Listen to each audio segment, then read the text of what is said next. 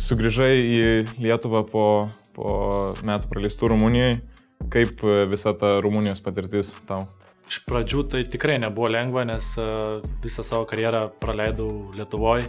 Tai buvo gan nėtinai toks šokas pradžioj, bet gerai, kad važiavau ne vienas, važiavo šeima kartu. Tai labai kažkas nesiskiria nuo Lietuvos, galiu pasakyti. Tiek, tiek kultūra, tiek maistas labai panašus, tai nežinau, man tai tikrai patiko po tų pirmų mėnesių ir kažkada gal tek sugrįžti, nežinau. Žaidimo prasme, kom kitokia lyga? A, daugiau gal fiziškumo, a, teisėjų darbas kitoks. E, iš tikrųjų, čia turim labai gerus teisėjus, tai manau, kartais per daug su išnekam, bet iš, iš tikrųjų turim vertinti aukštą, aukštą teisėjimo lygį. Kaip suprantu, vertini visą tą patirtį teigiamai ir e, atsiradus galimybėj užsienis nėra kažkoks, kad atbaidytų dabar tave, ar ne? Ne, dabar aišku, jeigu kažkada ateityje atsirastų kažkokių pasiūlymų, tai tikrai aš jų neatsisakyčiau, daug, aišku, pagalvočiau, bet e, tikrai būtų lengviau, kadangi aš jau metus buvau praleidęs e, Rumunijoje. Buvusi komanda tavo pernai e, laimėjo Lietuvos e, krepšinio lygą. Ar buvo tau džiaugsmo kažkokio dėl to?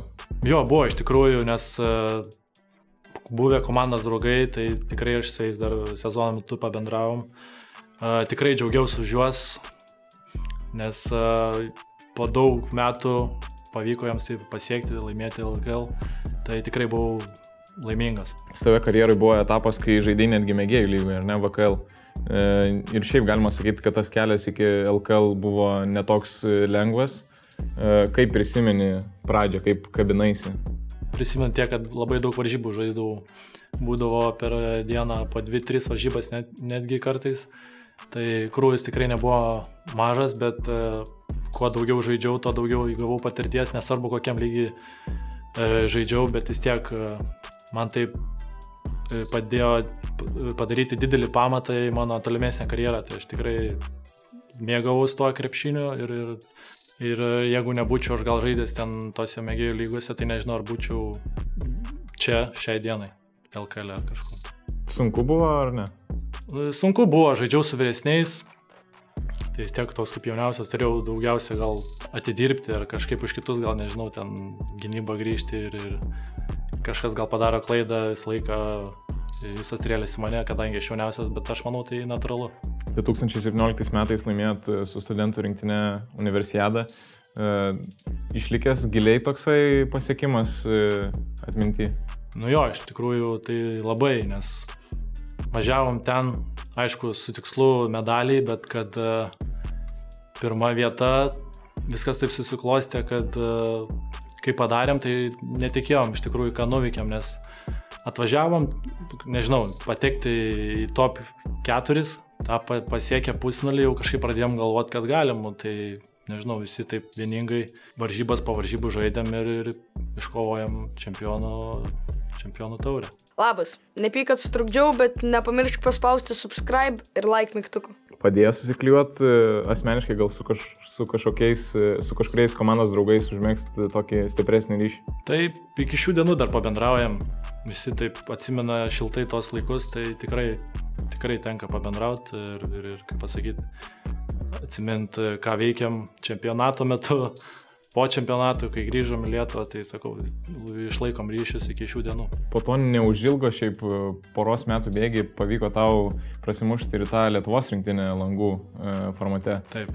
Kiek tau čia buvo didelis pasiekimas. E, kiti žaidėjai negalėtų gal to sureikšminti, bet man buvo tai tikrai neįkainoma patirtis, nors Lietuvoje jau buvo patekusi į kitą etapą.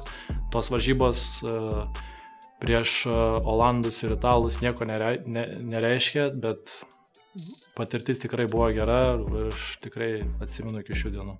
Iš baisiogalos nėra turbūt baisiai daug gerų žaidėjų kilę. E, kaip, kaip e, išaukti tą, tą miestelio lygį ir, ir pakilti iki Lietuvos krepšinio lygos? Kažkada esu anksčiau sakęs, kad e, reikia užsispyrimo, reikia daug ką paukoti, reikia atsidavimo tam, ką, ką myli. Ir, ir aš manau, bet ką darant, ne tik žaidžiant krepšinį, nesvarbu, kur tu gimęs, augęs, jeigu tu nori, jeigu tu užsispyręs, tai tikrai vieną dieną tai pasieksi. Ir sąlygų, jeigu nėra, tu jas visada gali susikurti. Man pradžiai padėjo tėvai labai, kadangi artimiausia krepšinio mokykla buvo Radviliški, tai kiekvieną dieną tėtis e, vežiodavo mane į treniruotės, penkis kartus per savaitę, kartais daugiau. Ir taip e, dabar sunku pasakyti, kokius, nežinau, septynis gal metus buvo atsidavęs.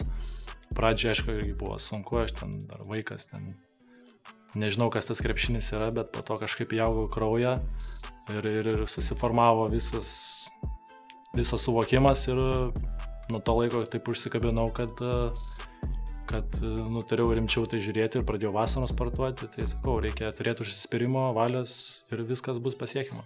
Perinant prie linksmesnių dalykų, e, esi gavęs iš trenerio Žedrūno Urbano įdomią dovaną. Papasakok truputį daugiau. Jo, ten gavau gesintuvą ir Red Bullio.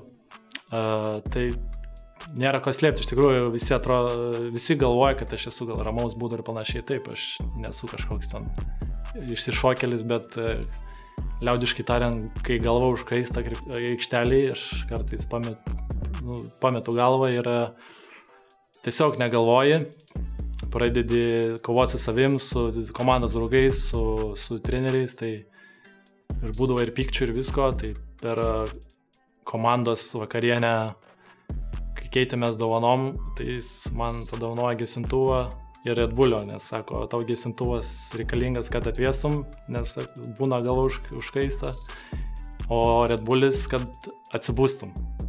Tai visa istorija. E, kuris dalykas krepšininko karjerai tau pats blogiausias? Tai manau traumas. Nes vieną dieną tu gali žaisti ir tu nežinai, kas bus rytoj. Ar, ar, ar tu tiesiog neišsimegosi, ar, ar, tu, ar tu ateisi, užlipsi kažkam ant kojos, išsisuksi tą koją ir, ir tiesiog lygioj vietoj gali e, prarasti laiko, tu tiesiog iškriskom dviem dvie mėnesiam jeigu pasiseks, o yra dar blogesnių variantų, tai traumas, manau, yra tikrai kiekvieno sportininko blogoji pusė. Kaip tau Jonovas miestas?